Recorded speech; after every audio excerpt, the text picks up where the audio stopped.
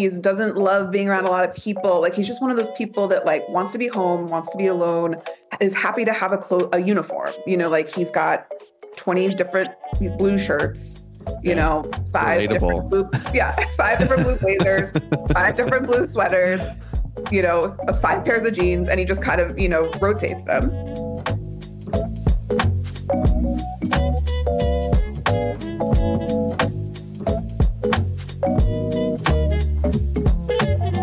Welcome to the Art of Costume Podcast. I'm Elizabeth Joy Glass. And I'm Spencer Williams. Hey, Elizabeth. I'm glad hey, you Spencer. have light and power. I, me too.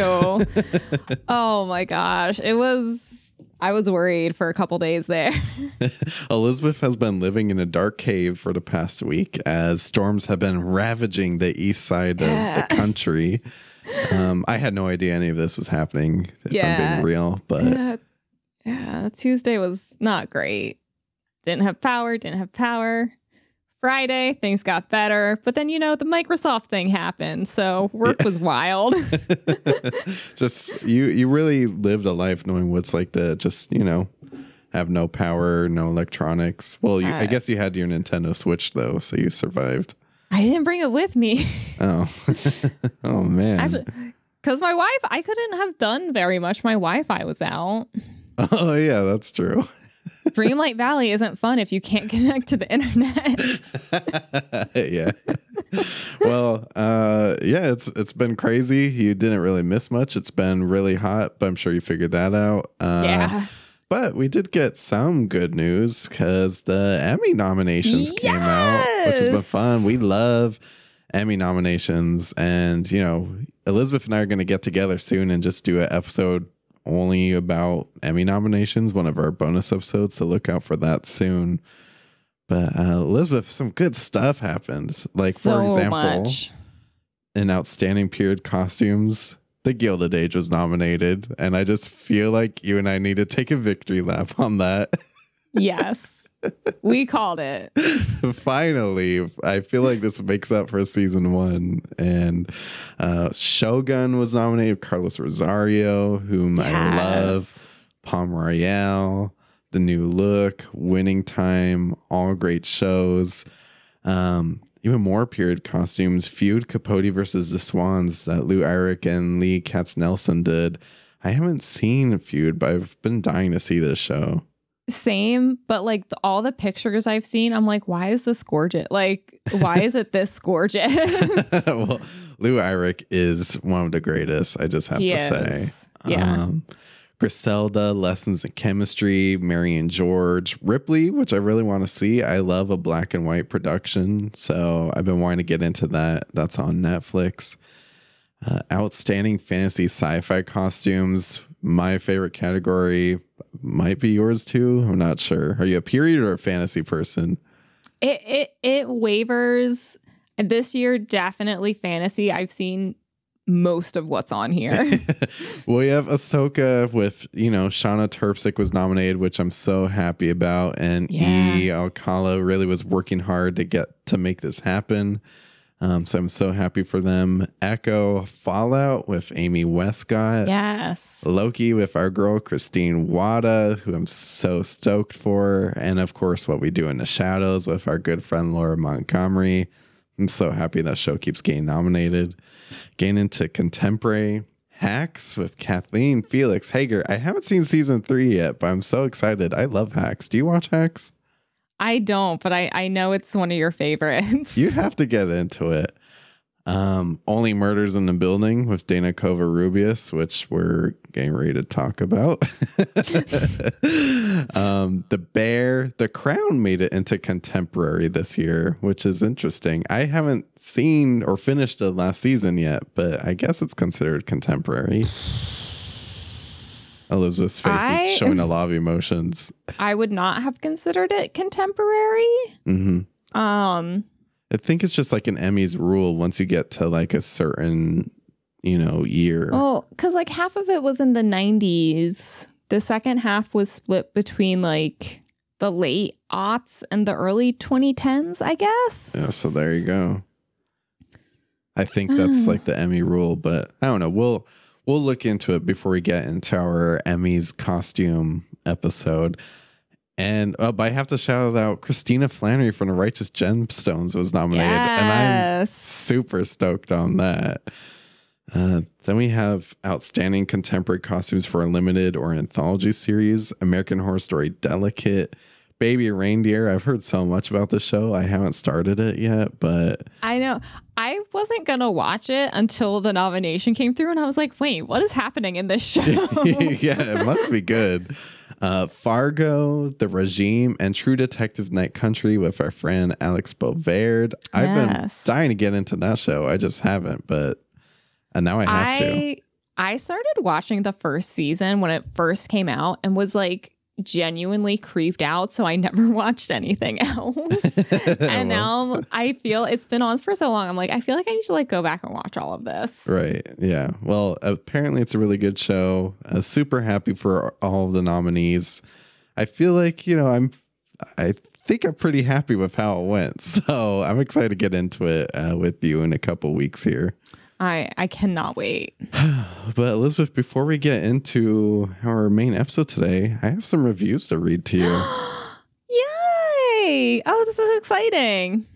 Yeah, we got quite a few Apple Podcast reviews to read. And, you know, I really hope that all of you will also head to Apple Podcasts, leave us a five star text review so we can read it on the episode because it just warms our hearts. And who doesn't want to warm Elizabeth and mine, mine's hearts? Yes.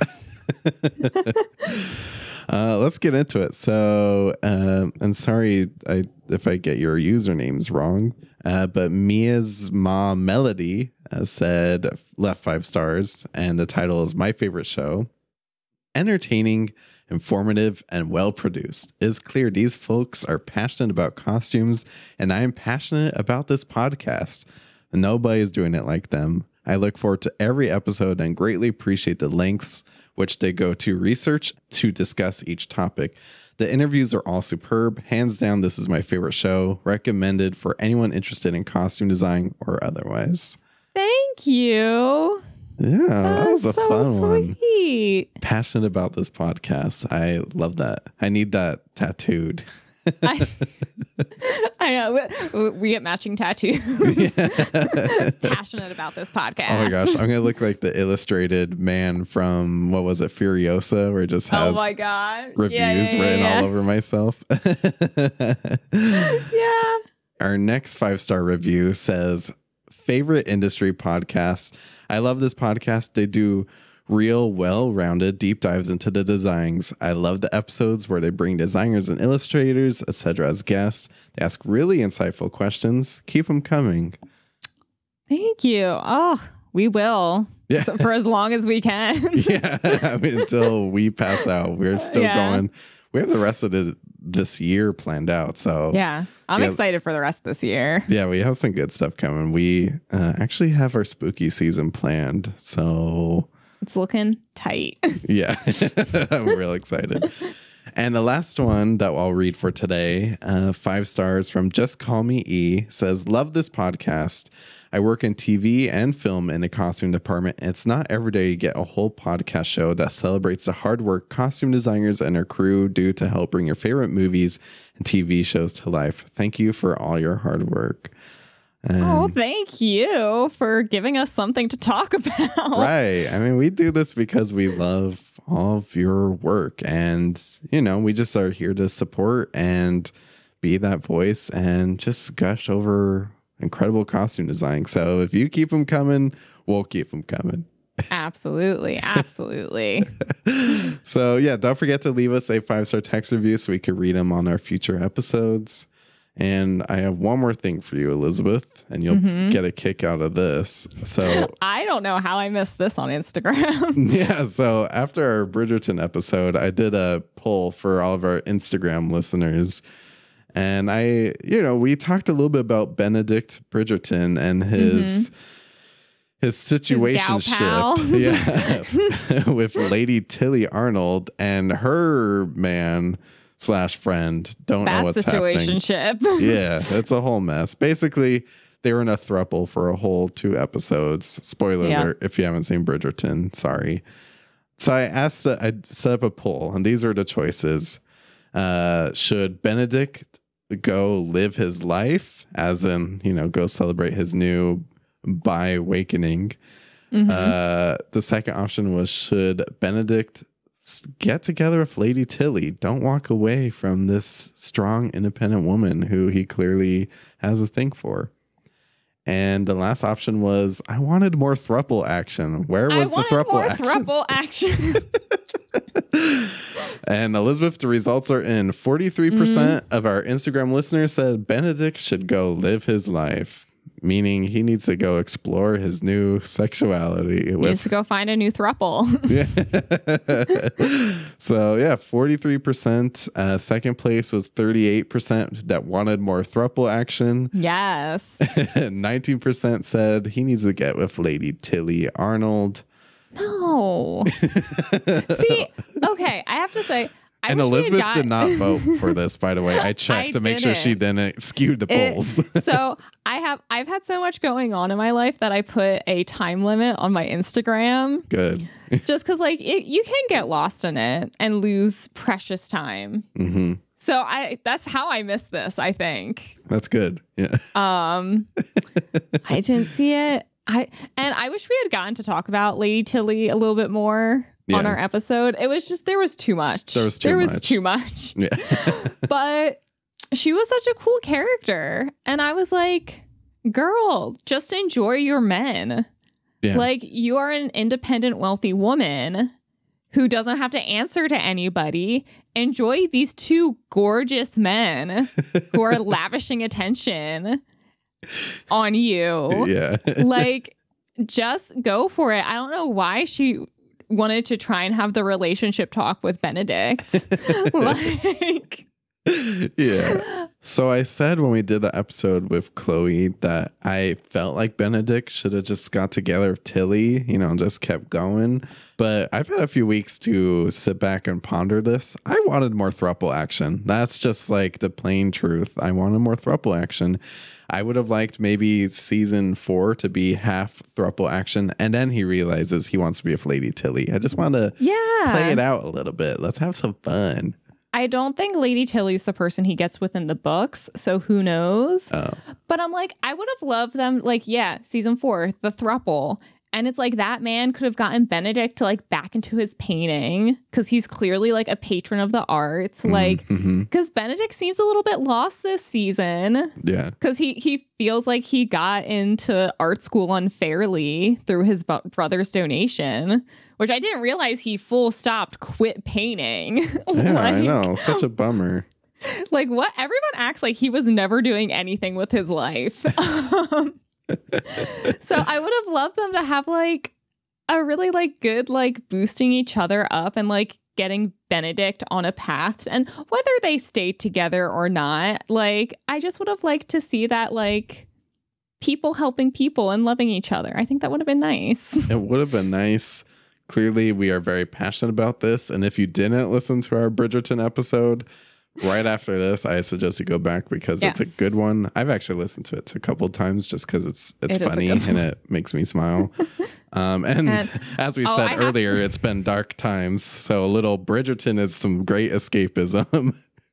i have to say i've reflected upon the episodes oh, and from all the information I've gotten in, I was an idiot. How did I not notice that Francesca was totally oh, uh, uh, into the cousin? I need to call Chloe. I was I was just I don't know where my head was when I was first watching that. oh, wow. But I was like, "Oh my gosh, I'm dumb." Like the Uh, this you, is the two of you were right. The two of you were right. news. First of all, I don't think you've ever said I've been right on this podcast, so this is a great moment. I uh, mean, every now and then, Spencer, you're Yeah. bound to a get broken something clock right. is right twice a year. Yeah. Um, I will continue to double down on my uh Dowager Lady Bridgerton. That's fine. We'll work on that season four. though.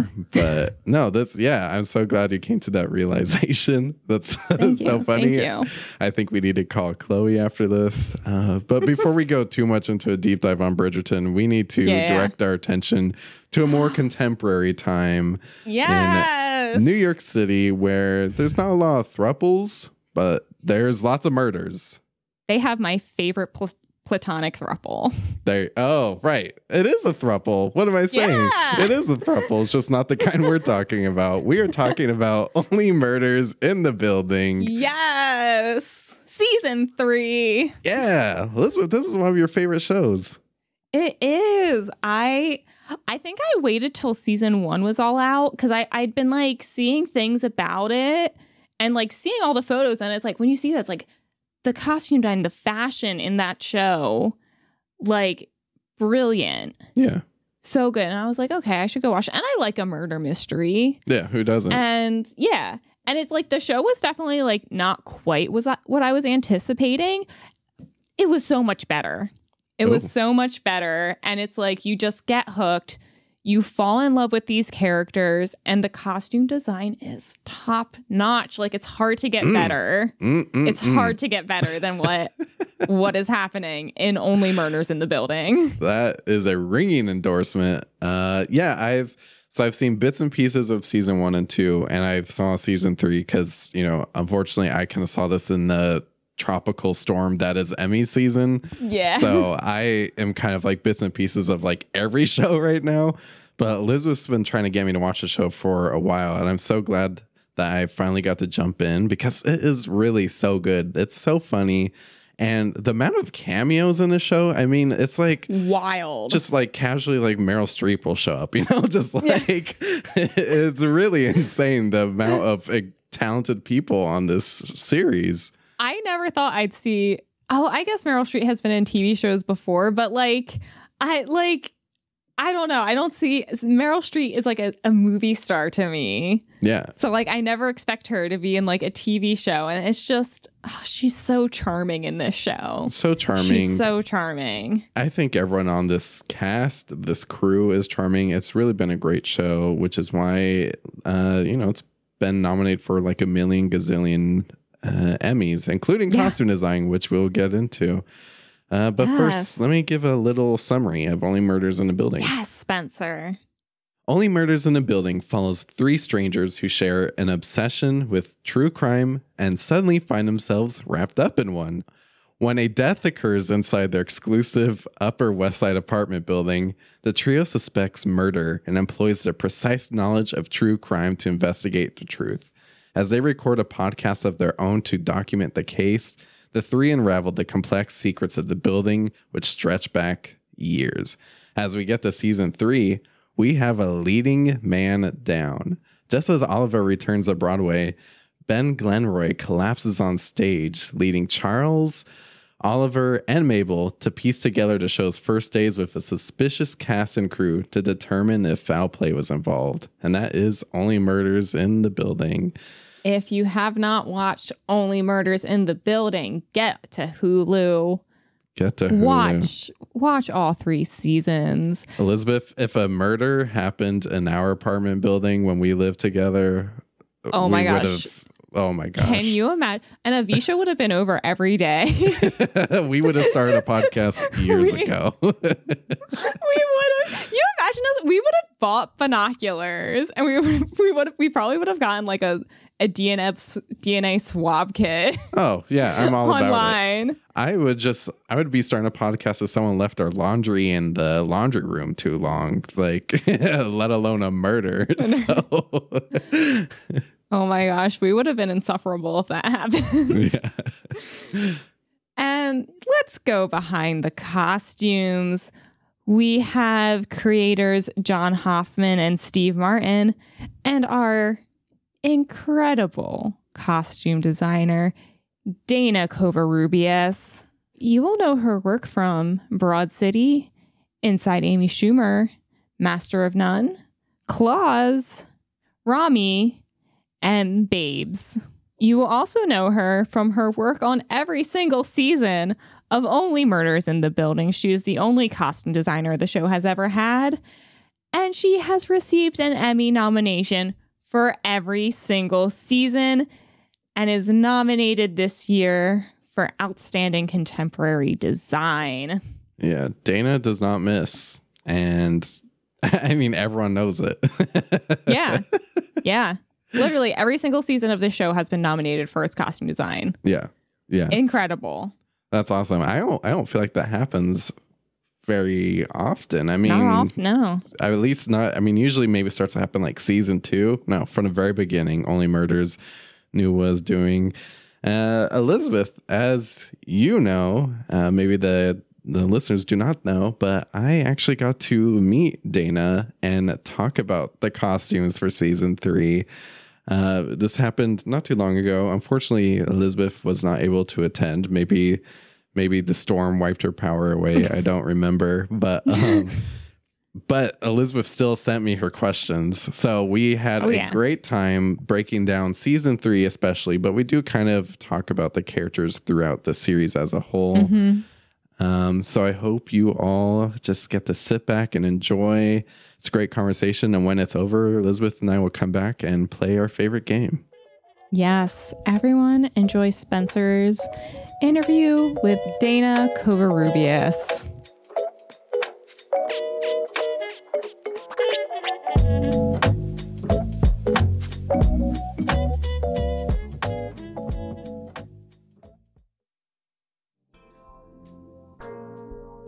Hi, this is Dan, audio engineer of the podcast, here to let you know that if you wanted to support the show, you can head over to theartofcostume.com slash podstore. There you can buy some awesome TeePublic merch with the podcast logo, such as a shirt, coffee mug, stickers, and of course, a baby onesie.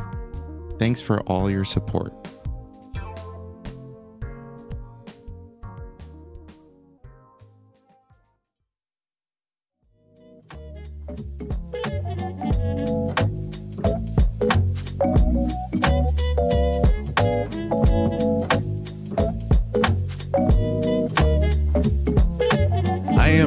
Happy to finally welcome costume designer Dana Covarrubias. Hey, Dana, how are you?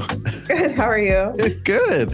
I'm so excited to talk to you. I feel like I've been hearing everyone tell me to watch Only Murders in the Building ever since it came out, and I'm just so excited to finally make it happen because the the listeners have just been dying for this episode. So I'm Yay. Oh, I'm so thrilled. That's that's so good to hear. Yeah, we um we are in the midst of season four right now, and um so I'm trying to you know remember everything from season three. As is always, we always do the interviews like a year later, and it's Yeah. always like, oh God, how do I you know remember everything? But Right. um but yeah, I'm so excited to talk with you. Well, good. I'll, I'll guide you through it too. And my co-host Elizabeth is actually like a diehard fan, and she sent a lot of questions as well. So we're gonna get into all the specifics.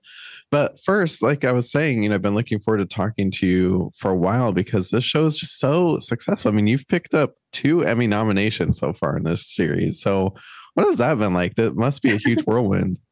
Oh yeah, yeah. I mean, I I, I kind of knew when I started the job that it would get a lot of attention because of our unbelievable cast and um and the writing. You know, I, I just knew the story was going to be appealing to people, and people are all about you know murder mystery and you know crime dramas and all of that, and obviously comedy and having Steve and uh, Marty and Selena. It's like how can you kind of go wrong there? Um, you can't. Yeah. So I knew it would. How Get, I can we it would- resist? right right i knew it would get a lot of attention but i you know i didn't you know when you're costume designing you kind of you go from the script and you you have your meetings and you do your mood boards and you think about your inspiration and you're doing you know i do it you know based on character and I'm, and I'm thinking about that more than anything else and then when it gets the attention that it's been getting it's just um it's just very exciting and it's it's very you know i'm very grateful and but it's not something you expect you know it's not you're just Yeah. kind of head down doing the work Yeah. um, yeah, it's been it's been has been a whirlwind, and um and I'm yeah, I just feel very lucky. Awesome. Yeah, it's great to follow along too. I mean, every time a new season comes out, I'm like, oh, what does she have in store for us this time? So I'm always very excited. Um, so within that same vein, talking about the series as a whole, you're from New York City, right? Actually, I grew up in Texas. Okay. Um, yeah, it's, it's funny. Like Selena and I have that in common. We both grew up in Texas, and we both are half Mexican, so we like had that little thing in common. Um, but but I came to New York when I was 17 to start going to school. So I've been in, Oh, in. New York for over 20 years. Yeah. That's awesome. So I I talk with my friends at Makeover Montage quite a bit, Marie and Blair, about how we always have co envy living in Los Angeles, and I think your show is suspect number one in that co envy. Yeah. Um. So how has your experience living in New York informed only murders in the building? Oh, I mean everything. It's you know, it's Yeah. it's as a costume designer living in New York, I always say it's like it's the best research uh, you know, you can really have living here because just everywhere you go, you see amazing you know, people and and not just like, you know, yes, there's amazing fashion here, but it, it's really just um character, you know, like you see these like characters everywhere and it's so Yeah. fun to kind of hone in on what that person's look is and you know you're on the subway or you know you're walking down the street and you see someone and you're like wow they put that with that and those shoes and that's such an interesting combination and who are they and where are they going? And, and you know i think it just gets your costume designer brain kind of ticking in a way Yeah. that it probably wouldn't maybe in other cities. Um, and of course you have all different kinds of people living here of all different you know socioeconomic backgrounds and um, coming from all different countries. And it's just such a melting pot in new york and always has been. And i think that really informs costume design in general and definitely specifically on this show. Um, but yeah when i first came to new york i was living on the um, upper west side where our show takes place so i Mhm. lived there for five years maybe so and and you know and then now since then i've lived almost in every borough I've lived in something like 10 different apartments or something since my 20 years of being in New York. And um, so I've seen every borough, I've seen every kind of person, I've, you know, studied all the people. So um, so I feel like that gives me a really uh, great advantage when I design New York City based shows. Yeah. And then specifically with Only Murders, you know, I had a really, you know, I had a lot of time to study the Upper West Side people. And I, I worked in college, I worked at a wine bar that was across from the Met. Oh. And and so I was all of our customers were like pre and post, you know, Met uh, people, you know, going going to the opera or going to the ballet. And and I think I just really loved how elegant everyone, you know, everyone's so fashionable and elegant. And I think that's that's the kind of look that I wanted for the Arconia. This kind of like old New York elegance. But yeah, I mean, yeah, I think everything everything about the show has been helped by the fact that I've lived in New York for so long, for sure. Right. I mean, talking about the best research ever, just walking Yeah. down the street is just like a, you know, Oh, yeah. a homework assignment sometimes. Yeah, but in the imagine. coat, the coat specifically, like the you see, I mean, it's it's winter. I think people don't realize growing up in Texas, of course, it was just a, a shock for me um, that winter is nine months long here. You know, Yeah. like I mean, kind of. You're kind of wearing a coat for nine months. Yeah, nine months, and you have to because of that. And it's not. There are different kinds of cold. You know, there's Mhm. like really really cold, and then there's like little tiny cold days. So it's like you want to have a bunch of different coats for every kind of you know weather there might be. Um, I personally have probably two closets worth of coats. Um, The you know, coat you gotta have your it's coming raincoats. back. You got- yeah, yeah, yeah. you gotta have your raincoats. You gotta have your trench coats. You have to have your puffer coat. You have to have your like more elegant, longer wool coat. You know, so I kind of thought that uh, you know our characters would have that as well. right. Um, it's become. We always joke that it's a coat. It's a show about coats. the best show about coats, if I might say so. Uh, so I'm excited to get into season three, as there is a lot of great stuff going on here. Um, as this season heavily revolves around Broadway musicals. So before we get into the specifics, I have to imagine, you know, having this experience now living in New York City, uh, that must have been quite exciting to you to bring Broadway into this series. Yeah, absolutely. It was um, very exciting when I found out that that was what this season's kind of main arc was going to be about. And um, I, growing up, did musicals. Um, I think I did a production of, well, I don't know if it was a musical, but it was something, ca- a production of Stone Soup when I was like four or five, and then and then um, I did Stone Soup too. I could sing a song to you, but I'm not going Stop to. it. That'd be yes, horrible. Amazing. Oh my god, that's amazing. yes, yes. But yeah, very young, very young, you Yeah. know. And then like, and I think I did like Annie Get Your Gun in like sixth grade or something, you know. And I just had the theater bug my whole childhood, and Yeah. um, and then was a total theater nerd all throughout high school and college and went to school for performance and switched kind of like got interested in costume design while I was in college. But um It's like the most easy transition, honestly. yeah, well, you know, and I I realized after years of doing it that I actually like hated kind of being in front of people and the part of theater that I really enjoyed was creating the character. Yeah. You know, I would like I loved I loved the camaraderie of the crew. Like I loved being part of a crew and I loved creating character, doing all the research behind creating character. And so that like so when I sort of got more into costume design, I was like, oh, this is perfect. This is exactly what I'm looking for. Um, but yes, I love musicals. Whole childhood was like totally, you know, listened to Rent probably five thousand times and annoyed my parents um, endlessly. Um, so yes, I was very excited to um, use that as inspiration for this whole season and kind of pick and choose which musicals I thought you know would be fun to use as um, inspiration for the costumes this season. Yeah, that's that's so exciting. I mean, it's like the costume designer's dream. Um, I can't believe you brought up Stone Soup. That was such a. I thought that was. I thought that was like an exclusive experience. So I need to like do some research. I guess. So funny. I know. I like. I have a vague memory of my costume in it, um, and that's it. Yeah. Or like like standing around the cauldron and putting Yes. Oh, yes. Very in it or cauldron something. centric. Yes. Very cauldron centric. So. I'm gonna t- chat with you after. so season after season, everyone's talking about Selena Gomez's character Mabel and all of her brilliant costumes. I grew up watching Selena Gomez on Wizards Waverly Place. Been a fan forever, so I was just so excited to see her in this. I mean, this season, Mabel's looks uh, appear to be heavily influenced by said Broadway musicals, like we were talking about. So, how did this come to be, and how much have you collaborated with Selena in creating her character's look? Well, every season I like to pick kind of a central influence based on, you know, what we're doing with the the writing and what the main plot line is that season. Um, so, you know, season one, it was it was kind of very Hardy Boys um Mhm. based plot line. So that was the main inspiration for the looks. And then oh my gosh, I'm already, oh, season two was sort of there was this um Hitchcockian theme that we had going. So that's Yeah. where we went. And then this season was musicals. So I it's this it's actually when I did press, I think after season one, someone asked me if if the costumes had any sort of like uh, mystery element in them, um, or like uh, what's called Easter egg, you know, kind of situation.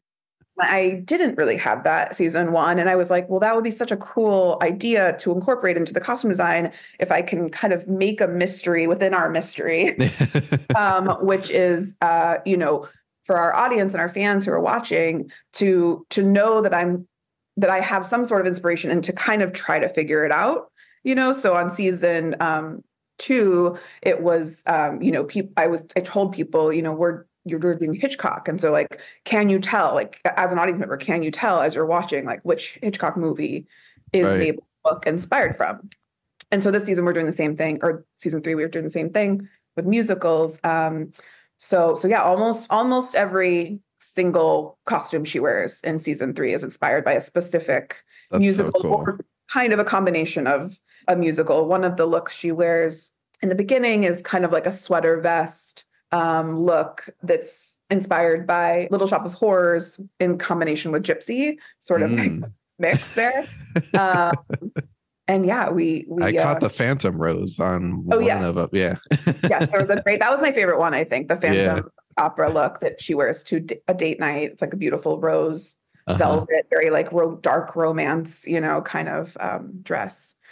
And yeah, and yeah, so it was just fun to um, choose all of that. And and yeah, I mean, Selena's like, she's just so game. She's like, she's very. I think she. uh, The most input she offers typically when we're in a fitting is like this feels very Mabel or this does not. You know, like I think Yeah. she's just so honed in on who Mabel is that when, when we'll put something on, sometimes I'll see what she's wearing in real life and I get inspired by that and I'll Mhm. try to mix that in a little bit. And then sometimes she's like, she'll be like, no, this is too Selena, you know, like this feels Yeah. too Selena, not Mabel. So we we really try to um, you know, make a distinction there. But yeah, she's just so, you know, she's really just lets me and my team do what we do and is great in that way. Yeah, that's so exciting. And then we have these two legendary comedians that you're working with. Uh, you know, just Martin Short and Steve Martin. Uh, so in season three, Oliver, by the way, Oliver is a fashion icon. I'm just gonna get that out of the way. For the short amount of time I've been watching this show, I'm already like, I this is what I want to be. Um, so Oliver returns to Broadway, and uh, so tell me about design costumes for Oliver and how that may or may not have evolved as we got into season three once he returns back to Broadway. Yeah. Um, Oliver, ugh, he is, yeah, he's it's hard to pick from all your children, of course, but like I have Right. to I do I do have to say that Oliver is my favorite person. You're like. I won't choose, but I since you didn't ask, I will choose. Yeah, I will choose. It is Oliver. Um, uh, he's just so fun, Yeah. and I mean, there's so much to to work with there, character wise. You know, the way he's scripted, he's this very tragic character who's not afraid of fashion and not afraid of standing out and wants to stand out. And um, that's just very exciting, you know, to kind of work with that as a costume designer. Um, and yeah, I would say, you know, what, what we established season one is that, you know, he's this, you know, man who had a heyday, you know, back in like the 80s, 90s, directing for Broadway and had a lot of money then and kind of, well, maybe, uh, you know, a, a medium amount of money, blew Yeah. it all. like, you know, he's in like very serious credit card debt. Um, and he, you know, but so he has these luxury items, he has these luxury pieces, but they're all from like the 90s and the early Right. aughts, basically. Um, so for him, we do a lot of shopping on the RealReal because it's kind of perfect Mm. because it's like secondhand luxury items. That, Yeah. So we try to look for stuff that looks a little more like, you know, 90s or early aughts for him. Um, and you know, his his main goal is that he's he's always playing a role. He's always trying to um, you know, be uh, be what the other person wants him to be in any given situation. So he he's really um, loud with his with his wardrobe, and we love to mix patterns and color, and um, we just have so much fun with him. And then specifically this season, you know, he's getting back into the director role, like you said. So we we tried to focus more on kind of a more casual Oliver look, where he's a little bit more like push the sleeves up let's get down to business. Um, let's whip these actors into shape. um, you know, he's a little he's in the theater all the time, or he's, you know, they're rehearsing at the building. Um, and um, he's in rehearsal mode, you know. Right. So it's like a bit of a different look than his in like, work mode. Yeah. it's a work mode, yeah. So it's Yeah. a bit of a different look than his like three-piece suit kind of thing that he, you know, will wear a lot of times. And then uh, Steve Martin's character, Charles, he, I mean, first of all, what an amazing actor. So, what was it like working with Steve Martin? How would you describe his character's costumes in season three? He's a little Um, bit harder for me to understand because he just, I mean, he Yeah. always has such great style, but he's also gained into his role as well. Yeah, yeah. So his his main thing, uh, you know, character wise, is that he's he um he's kind of the opposite of Oliver. He he doesn't like to stand out, and Right. he has a lot of comfort in um in the day to day repetitiveness of things. Like he fi- he's kind of he's doesn't love being around a lot of people. Like he's just one of those people that like wants to be home, wants to be alone, is happy to have a clo- a uniform. You know, like he's got twenty different blue shirts. You Yeah. know, five Relatable. different blue, yeah, five different blue blazers, five different blue sweaters. You know, five pairs of jeans, and he just kind of you know rotates them Yeah. and makes it easy for him. And he, you know, but he always looks good. Like he knows what looks good on him, but he just, you know, he's um, sticking to his color palette and his silhouettes that he knows um, work. And so what we've, so the, so I think character wise, what's been fun with his his character is that we've, anytime he deviates from that, you know, does something else, it's a big choice, you know. So as the seasons have been going, really in season one, we really only did blue, white, gray Mm, hmm maybe a little bit of green, Yeah. maybe, maybe. And then now, as the seasons have gone, we've gone. You know, he's really push. He's has these new best friends of you know Mabel and um and Oliver, and he's pushing himself. He's constantly pushing himself out of his comfort zone. And so we try to reflect that with his costume by adding a bit more color, adding a bit more pattern, but very, very subtly. I think in season two, we just started adding color in his hat bands, Nice. like barely Yeah. like anything. And then, um, and now in season three, we've tried to really push the color. I mean, for him, and um, and he's, you know, now he's acting in this play that Oliver's directing, which he's, you know, he's used to doing his crime procedural that he did back in the '90s, which is a very different kind of acting than live musical performance. right. So he's very nervous. He's very worried about having to be in this musical and having to pull off um, the song he has to do, a patter song, which is a very, very difficult song to do. Yeah. And so we wanted to show that he was kind of pushing himself by adding more color. But then there are these scenes where he goes to a quote unquote white room where he kind of has these like freak out moments. um, he, you know, it's kind of like when you're on stage, you forget your lines, you forget, you know, you have that like horrifying moment. And so he goes to the white room. And then when he's in the white room, it's like all of the color is sucked out. So he's Yeah. just head to toe wearing white, a white version of what he would normally wear. Um, so that was really fun. We got, you know, we made custom, we knocked off his normal hat and like made a custom white one and oh, found Oh, his shoes so white. And yeah, we had a lot of fun with that look for him.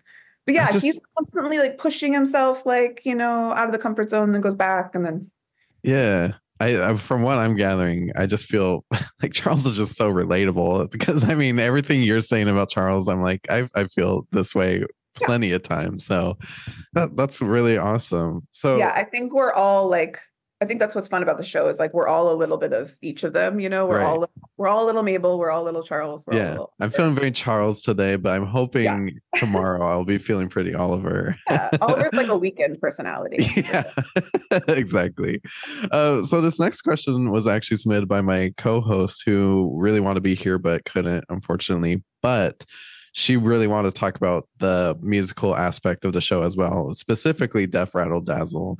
Mm-hmm. um, she said the musical's costumes with their unique blend of fantasy and reality were undeniably a standout feature of the season. I was particularly enamored with the crab people. So what was the creative process like when designing costumes for a show within a show? Oh, it was a dream come true because I've, you know, I, I did theater in school, but then I, as soon as I got out of school, I really started working in film and TV, and I um, haven't really gone back to theater. So it was very, very fun to design this version of theater for television. I'm a big sequins person. I love Yeah. anything sparkly. I have racks of clothes that are like in, in my costume stock that are just sequins. Like I just Yeah. have racks that are just like these are my sparkle racks. yeah in case of emergency, Um, emergency Case sequence of emergency. Yeah. Yep.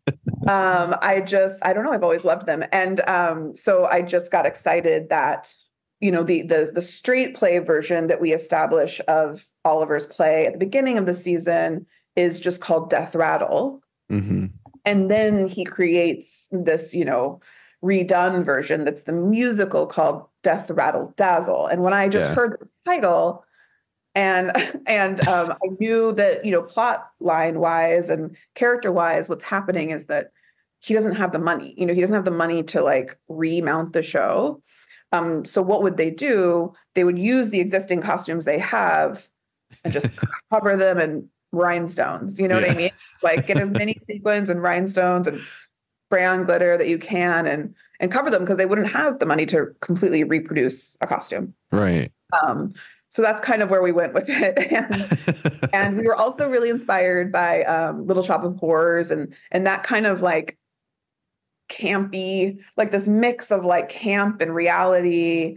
And then we also wanted to poke a little bit of fun in a way at you know musical costume design Right. and like go go really far with it, like ridiculous, like make everything sparkly and everything you know over the top. We you know I spent I don't know how many man hours hand be, hand stoning shoes. oh my gosh which is I love doing. It's so fun, but Right. um, but quite yeah, the task though yes, quite the task. Yeah, and, and as you mentioned too when oliver realizes what this you know production needs to become there's that fun little fosse montage dream sequence that we get that's I feel like it's too short. I need a whole episode of it. How I know, did that I know. that be? was my only thing. Like when I watched this season back, I was like, oh, I just wish there were. I wish like we could have just like almost like music videos of like right. just the musical parts Maybe just like Hulu needs to do like a limited, just hour long production. yeah, Just, yeah. There you go. You know, we We know reuse that. the costumes. We're fine. Yeah.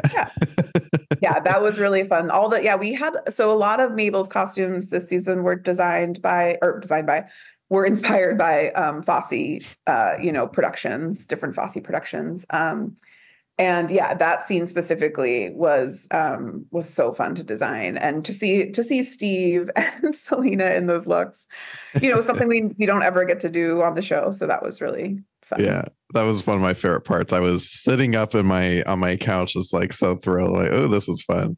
Yeah. Um. So I've heard you talk before about how Clueless was very integral to your trajectory into getting into costume design.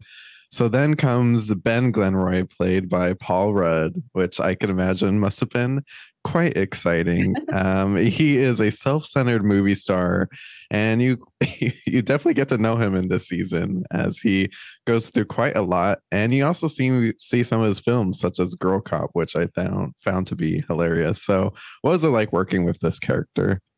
Um, it was so fun. We I this was my second time working with Paul. Um, we did a movie together um, called They Came Together many years ago, and um, so it was great to work with him again. And I think you know actually when we did that movie, it, it was a, it's a movie with him and Amy Poehler, and it's kind of poking fun at um, rom coms hmm and um, directed by David Wain. And um, in that movie, he's playing like an archetype of like every man that's in a rom com, and that's you know, and he he does that like he has that look a lot. He does that look Yeah. a lot, um, and he kind of I remember back in when we did that movie, he- you know, we had him in like a button down pattern shirt and a crew neck sweater and some jeans and some boots, and he was like, "This is basically the costume I wear and everything." And I was like, "Yeah, that makes sense." That's fair. um fair enough. So um so i really so that when i you know read his character and read who he was and and i kind of was like i really want to do something different. Like i want to give paul a look that he's never done before. Or he's never really Right. worn before. Um so we kind of went with this like you know rock a little slightly rocker like a bit john varvatos Yeah. in there. Um you know and he's just like this very self-centered you know actor who's kind of mean to everyone around him and and um and we wanted him to look we we were inspired by not that oh my god not that he's this way i've never worked with him he's lovely but we were inspired by um off-duty keanu reeves yeah, that's fair. um i don't know if you've ever like studied them but um I wouldn't say studied, but I get the reference. Yeah. yeah, they're very fascinating. It'll be like it'll be like jeans and like a blaze, like a beat up kind of blazer that he's probably had for a while, and a Yeah. t-shirt, but then paired with like a hiking boot. Right. You're like, what's, I don't know what's interesting, and a happening. Yeah, it's very interesting um, combination of things. So that was one of our um, inspirations. Um, and uh, and yeah, you know, he wanted like finger tattoos, and we were like, yeah, let's get let's give you like a wallet chain Yeah, why not? and yeah, we like yeah, we punk we punk rocked him up a bit, and yeah, we just had a lot of fun with it. It was great. It was so fun. It's Yeah. such a fun character. And then I remember at one point last year when I heard the news that one Meryl Streep was going to be joining the cast, I was just I thought about you immediately. I was like, okay, well, you know, here comes another great season. Oh. Uh, Meryl Streep plays Loretta Durkin, a seasoned actress who has waited decades for her moment in the spotlight. So, what did you want to convey about Loretta and her life through costumes? And I will say, I noticed that she also enjoys a scarf, much like uh, Yeah. our dear Oliver. yes, yes, we had them be scarf twinsies, which was very fun. Um, yeah, Loretta, you know, working with Meryl is a dream come true, as you could imagine. And I can't, I can't imagine actually. crazy. you know, it's just you have to sort of disengage your brain and just Right. do your do your Turn job it and- off. yeah turn to yeah um but yeah she's so lovely and um and i loved what we kind of came up with for her character we you know we always john hoffman our showrunner and meryl and i had a zoom early on and um you know talked about what we what we thought her look might be and i think where the original inspiration came from was that this character Loretta is kind of the sliding doors version of Meryl Streep's life. You know, it's Yeah. like if she wouldn't have made it, you know, like if just Meryl didn't make it and she just kind of um you know kept, but but loved acting so much and loved performing and just kind of kept hitting the pavement and kept trying to make it happen for herself but never really made it big. And so we looked back at images of what Meryl was wearing in the 70s and like late 60s 70s early 80s and um we're like you know what if her style was just sort of arrested in that moment Wow. um, so that was kind of the original idea for her costume design was kind of uh, kind of these i had this beautiful image of her where she's wearing like a tall boot with like a midi length a-line skirt and a blazer and a blouse and i don't know the, the colors were all very like kind of autumnal but with a bit of like jewel tone in there as well and so yeah that was the first inspiration Wow. It's kind of And dark and I love it. yeah yeah yeah and then when Meryl and I talked about it, um, she loved that original idea. And then, you know, she and I kind of came up with this other part that was like, you know, she's she's given up everything in her life to dedicate herself fully to acting. So she's like the most hardcore when it comes to being an actor. Right. And um, and in in that, how she dresses herself is either it- it's kind of two things. It's either like completely blank slate, like she's wearing just like all black, or you know something very simple, just like jeans and a you know button down, like a very simple button down shirt, so that when she's at a rehearsal or at an audition, she can kind of become anything. You know, it's like giving yourself a blank slate so that you can take on whatever Right. character. Or so that her closet's made of those kinds of pieces, these like blank slate pieces, or they're pieces in her closet that she's kind of taken from different productions she's been part of, and they're Mhm. very characterful Mm. and they're sort of these pieces that um you know you could even you know we were saying as we would do a fitting we'd be like oh this is something you took from like an ibsen production you were in or this is something from a chekhov production you were in or this is very shakespearean you know Yeah. so all these plays that she's been in all these roles she's had um she's taken pieces of those characters with her so yeah it was a kind of an interesting combination of like very characterful pieces very simple pieces um i think it turned out really cool yeah. the look I, um, I, I love the backstory too. All these Yeah. little connections too. It just really shows that you and your your crew really just put thought into every little piece. Even though there's, I have to say, a lot of characters in this series, so it's probably a lot to keep all these all these different storylines going. It is. Well, that's, I mean, and that's something, you know, that I definitely need to- talk about is that I have an amazing team and Yeah. like I'm one person and we have like a 17 person team or something like that. And um everyone I could, oh my God, I could, I, I lean on my assistant designers very heavily and they are very talented and amazing and help me out so much because it's true. It's like, you know, I can only focus my energies on we have we have so many amazing people on the show. And so I focus on, you know, maybe five to ten actors and then they're focusing on you know the rest and it's a lot Gosh, well, a costume designer is only as good as their crew, and you are amazing. So it's a big shout out to them as well. oh yeah definitely So, uh, one other question that Elizabeth sent for me to ask. uh, She said one of the season's funniest moments for her was watching Mabel running through New York with Charles and Oliver in Texas to the courthouse for her gown. What was the overall look you wanted to achieve? well you learn that the gown was actually something that was given it was um charles's girlfriend joy it was her mother's so it was supposed to be sort of a 1950s silhouette you know kind of Yeah. gown uh wedding gown and um but of course we didn't get the script until maybe a week before we were shooting this and nice. I don't know if you've ever had to order a wedding gown, but they can take, you know, six to eight weeks to be custom made and ordered, and it can be quite difficult to um, procure.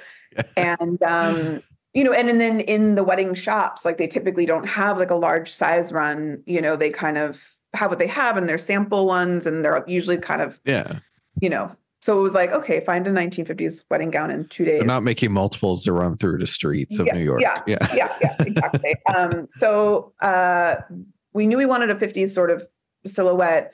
Um, so we kind of just ran around and just tried to find what we could find. And we ended up actually finding something from David's Bridal. Nice. That was like my first guess, but I thought that Which would be crazy. hilarious. yeah.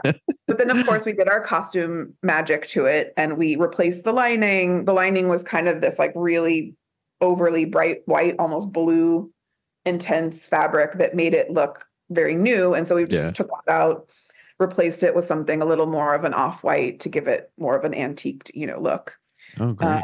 Um, and and yeah, and then paired it with some sweet gloves and you know, I think um I'm trying to remember what kind of yeah, we just we kind of tried to make the other pieces that she was wearing with it a little more leaning towards the 1950s to give it that vibe. And then of course, she's running around, so we thought it would be cute if she was wearing her classic Mabel chunky boots. So Yeah. we put it with her boots.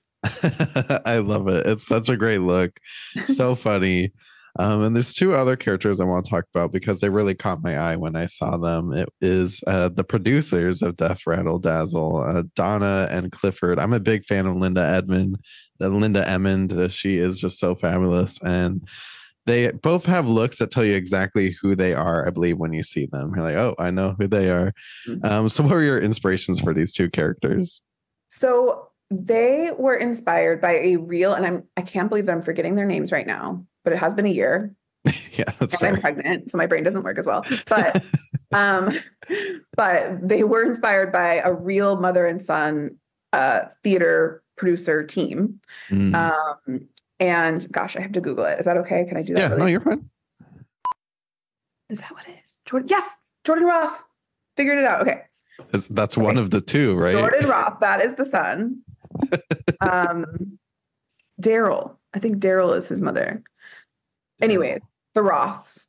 The Roths, mother and son go. the Roths. They are fabulous, and um, and that is what we. That's what those characters were inspired by, and um, you know, we wanted we wanted Donna to be this like badass New York woman who Mhm. doesn't take anything from anyone. And um, we wanted her to be this kind of Upper East Side. You know, she has a lot of money, but she's also like, she's there to work. She's there to grind and she's there to like, we didn't want her to feel too um conservative or you know what I mean? She's she's still a theater person. Yeah. Um, and so we had so much fun going wild, wild with her costumes. And then her son, Cliff, um, you know, you don't know much about him besides the fact that they're both just like, you know, these theater lovers. And that Cliff, I you, I think at one point maybe you learned that he has a background in dance. And so there are these really hilarious moments where he pulls off these amazing dance moves and flips. He just randomly flips in scenes. Um, but yeah, we we went really crazy with his costumes as well and had a, a really fun time designing that. Um, and yeah, we just wanted them to be very theatrical Yeah. and um, and showy. You know, that's that's who they are as people. Yeah. Right. Such a fun duo and Yeah. such a fun show. Dana, this has been such a joy. And like I said, I've been looking forward to speaking to you for a while and it was well worth the wait. So just looking back at everything you and your crew have achieved on Only Murders in the Building, what has this series meant to you? Has I mean you're working on season four right now. I mean two Emmy nominations. It's it's incredible. What has it meant to you? I- I mean, it's been it's been everything. It's been it's been such a um again, I feel so so so grateful um to have worked on this job and and to to keep working on it. And I hope we get, you know, a million more seasons. Yeah. You know, Marty always jokes that we'll just keep doing it until Steve doesn't want to do it anymore. um, so hopefully he'll keep wanting to do it. Um, and uh, and yeah, I mean, it, it's it's I can't even. There are no words to describe how uh, how amazing it is to work on. it. Like truly, truly love everyone. I you know my crew, of course, given that they are all amazing and I love them. And then you know I've never before worked on a job where like every single crew is amazing and the showrunners are amazing the producers are amazing and the actors are so kind and so wonderful and so talented and um yeah you just really couldn't ask for a better job you know it's it's like perfectly it's very creative you're allowed to be a little silly because it's a comedy but Yeah. it's also very grounded in character so yeah as a costume designer it's a i really think it's a once in a lifetime yeah, it, it's so exciting, and I'm just on the edge of my seat. getting ready to figure out what Mabel's thing will be next season Yeah, or what I'm the really new theme for yeah. is. So I'm I'm excited. Dana Covarrubias, thank you so much. This has been such a joy and congratulations on a lot of many different things. So I'm so happy for you. Thank you, Spencer. Thanks. Thank you.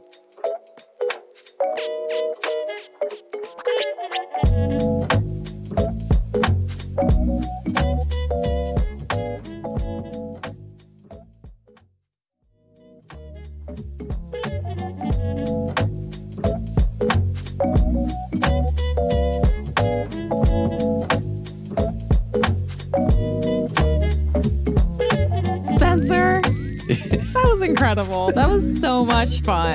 It was so fun. I love Dana. She's so cool. And I mean, I love a musical. I love a musical. I love a whole season based on musicals.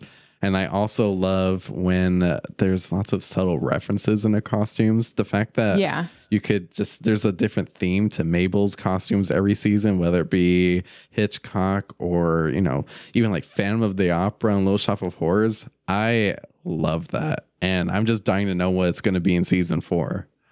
right? It's just, it's so cool.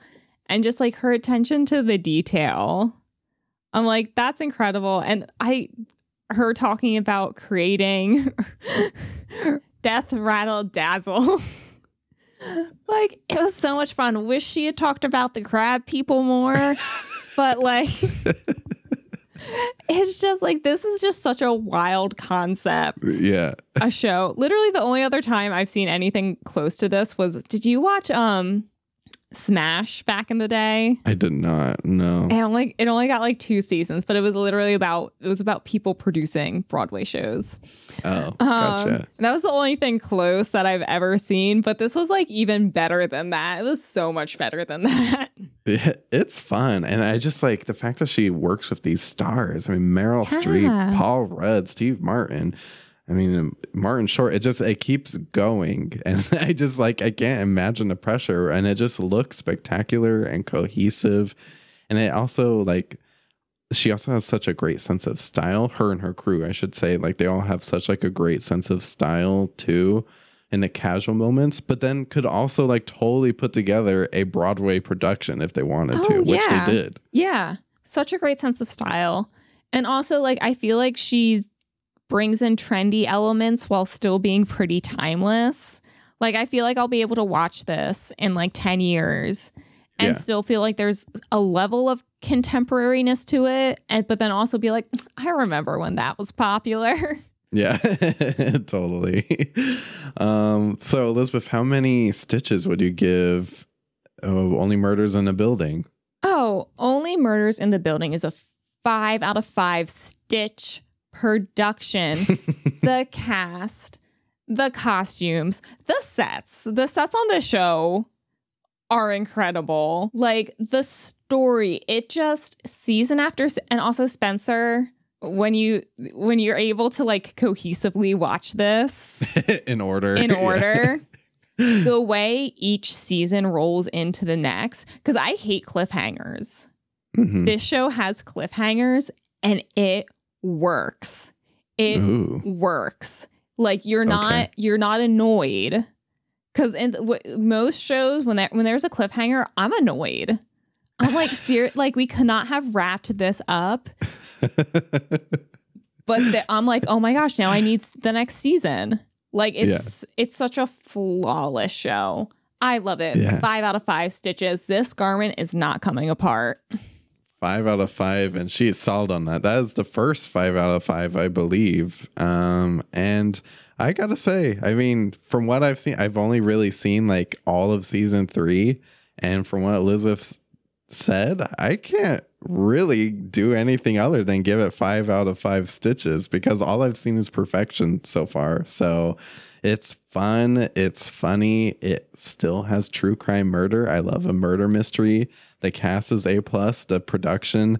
I said in the interview that you know uh, we've talked about this before. I have serious coat envy. I wish I could live in cooler climates and wear coats all the time and this show is like prime suspect number one it almost makes me want to move to new york i just want to experience it for like a, a year maybe Oh yeah. And it's just fun. And i love just the musical element of this. It just makes you yeah just it's so much fun. Five out of five stitches. That's an easy one. So uh, but we also got to play our our other favorite game. I guess we have two favorite games now but oh yeah. let, let's do it daniel. The one costume to rule them all. Spencer, what was your one costume to rule them all? Mine was easy. I knew it the second I saw it.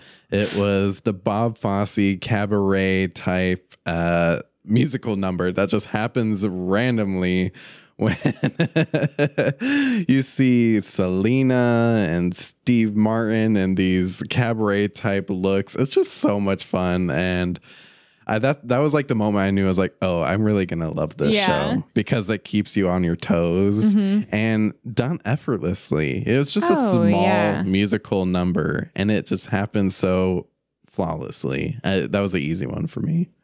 That was that was such a great moment this season. It was Yeah. so funny, so perfect. but personally, I gotta say, my one costume costumes, I will say to rule them all, was the Death Rattle Dazzle costumes, Mm, yeah. particularly uh Steve Martin and uh Meryl Streep. Like that sequined cop like constable outfit th- Yeah. ridiculous. That is objectively ridiculous. and like Meryl Streep's just like very cute little like nanny like coat and little jaunty hat with just like the sequins like on the on the lapel.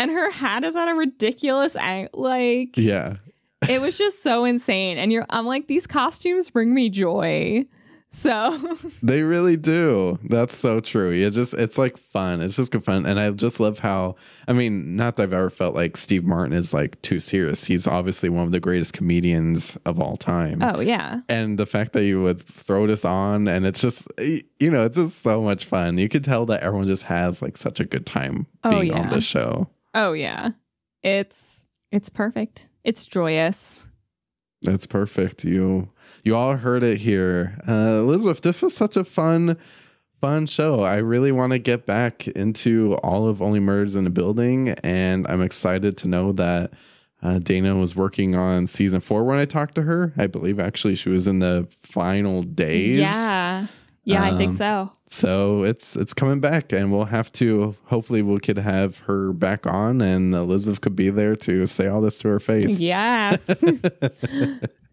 i cannot wait for that day Uh, well, if you all want to tell us what your one costume rule them all was, leave us a voicemail at 626 515 1826. Let me remind you that's just a voicemail box. You don't have to talk to us on the phone unless you want to, but we don't answer. It's just a voicemail box. So tell us what your one costume rule them all was, or email us at the art of costume at gmail.com. Elizabeth, Hot Girl Summer is ongoing, and we are doing something actually very different in our next episode. What are we watching? You all have wanted a classic movie from us. So we are giving you a hot girl classic with one of the hot girls of the 20th century. Next week, we will be watching Funny Face starring Audrey Hepburn with costumes by objectively the queen of costume design in the 20th century, Edith Head. Wow. I, I cannot believe that we are four seasons in. We have not done a classic Hollywood film as such, and we have not. I don't think we've talked about Audrey Hepburn or Edith Head. So I don't think so. I'm excited. I am very excited for this. Really, I've actually never seen Funny Face either. So I'm ready to get into it. I have not seen Funny Face either. So Well, there you go. It'll be fun for you and I. Um, I I hope you all listen. And in the meantime, don't forget to subscribe to us on YouTube at youtube.com slash the art of costume, Instagram at the art of costume pod, TikTok at the art of costume. Hit up our merch store at theartofcostume.com slash podstore. I actually just got a new t-shirt this week. I wore it at Comic-Con. Yes. So, um, you know, it's all black, but it still has our logo on it. It looks so cute and it's a nice fabric. Um, and as always, leave us a five star text review on Apple Podcasts. So we can read those reviews on the podcast. And, uh, you know, we really want to hear what you have to say because it helps us plan the direction of the show. Elizabeth, this has been a lot of fun. I feel like I need to go get my, I don't know, magnifying glass and start doing some true crime detecting. True crime detecting, find the reference- references in each episode. Yeah, find some clues. Whatever we do. Elizabeth, it's been so good to see you as always. You as well, Spencer. Everyone, have a fantastic week. The Art of Costume podcast is hosted and produced by Elizabeth Joy Glass and Spencer Williams. Our audio engineering and editing is done by Dan White. Follow us on TikTok at The Art of Costume and Instagram at The Art of Costume Pod. If you want to support the show, go to theartofcostume.com slash podstore. For more podcast updates, costume reviews, deep dives, and interviews, go to theartofcostume.com, a blog dedicated to highlighting the best in costume design.